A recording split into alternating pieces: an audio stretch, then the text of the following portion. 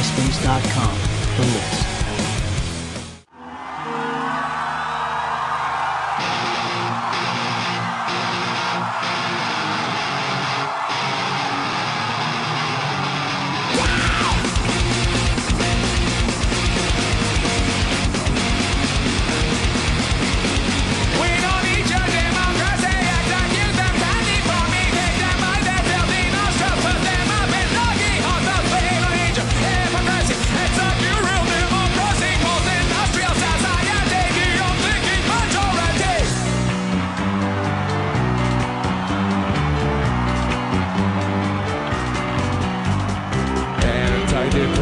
it's controlling tools of your system, making life more tolerable. Making life more